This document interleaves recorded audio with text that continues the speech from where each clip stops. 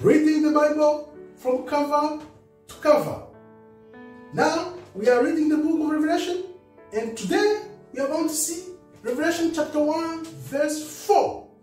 As usual, if there's no truth in you, you will not see God. Therefore, seek the truth, love the truth, share the truth, so that you can be true to yourself first and then true to God. We know the book of Revelation is all about the coming of the Messiah, Yeshua HaMashiach. This is his name. True name, Yeshua HaMashiach. Hey, Mem, Shin, Yod, Het. Yeshua HaMashiach, the anointed one. Let's read Revelation 1, verse 4. Greetings to the seven churches. From John to the seven churches in the province of Asia. Here, back in the days, Asia used to be something else other than we know today. Grace and peace be yours from God, who is, who was, and who is to come, and from the seven spirits in front of his throne. Christ, Yeshua HaMashiach, is coming back from his throne, from seven spirits, but as one because he has all seven spirits because he is God. Now, why Yeshua HaMashiach, the Christ, is coming back? Well, because it's a mishpah. Mishpah in Hebrew, mem, shin, bet, ayin. It's a mishpah.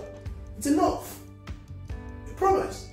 He promised he would be back. Remember when he left, he said, I'm going, but I will be back. That's why he has come back, because he told us he will be back. Now, what do we need to know? What do we know? And what we have to do so that we keep this in our heart and mind?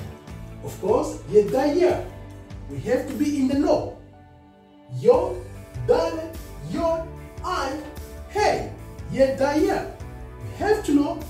And of course, you have to be aware that Christ, Yeshua HaMashiach, is coming back so that you can put yourself right with God.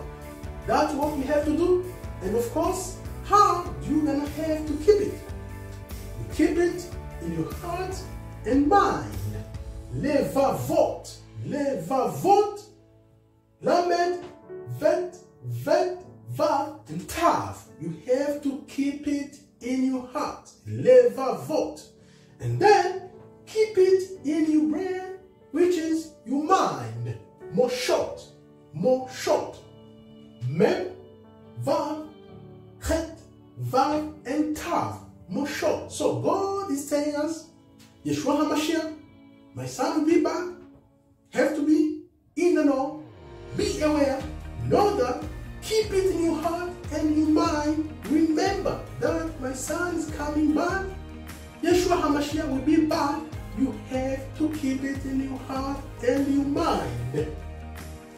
If you follow all of this, you put yourself right with God, and when Christ Yeshua HaMashiach comes back, He will find you ready and in the know, and therefore you shall be saved.